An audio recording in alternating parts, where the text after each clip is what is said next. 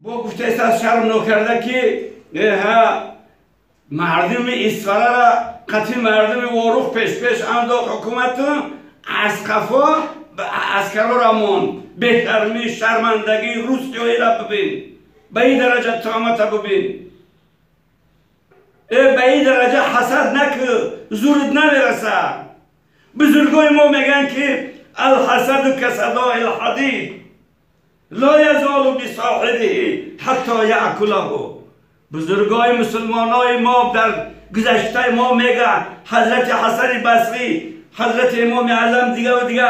امام شافعی امام مالک میگه که حسد مثل زنگ آهن است. لا یزال بصاحبه همیشه قطعی صاحبش همون زنگ میمونه قطعی آهن میمونه.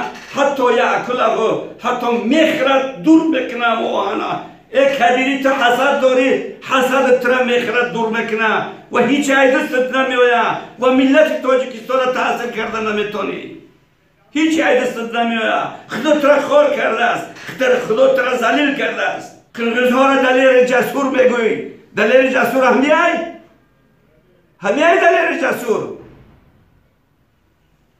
قرآن کریم میگه سوره اعوذ بالله الفلق مدروز گفتن نمی‌تونم شما با یک بار تاجیکستان یک بزرگ خصوصا علما و من شر حاسدین اذا حسد. حسد خیر اگر آدم بشید خدا در قرآن ذکرش نمی‌کرد. اگر مزیر نمیشید در قرآن ذکرش نمی‌کرد.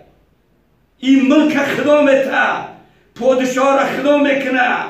اول در عالم پروردگار در آسمان در عرش بالای عرش پروردگار امضا می‌کنه بر عالم کروبیا چهارم آسمان میآید و امضا می‌کنن.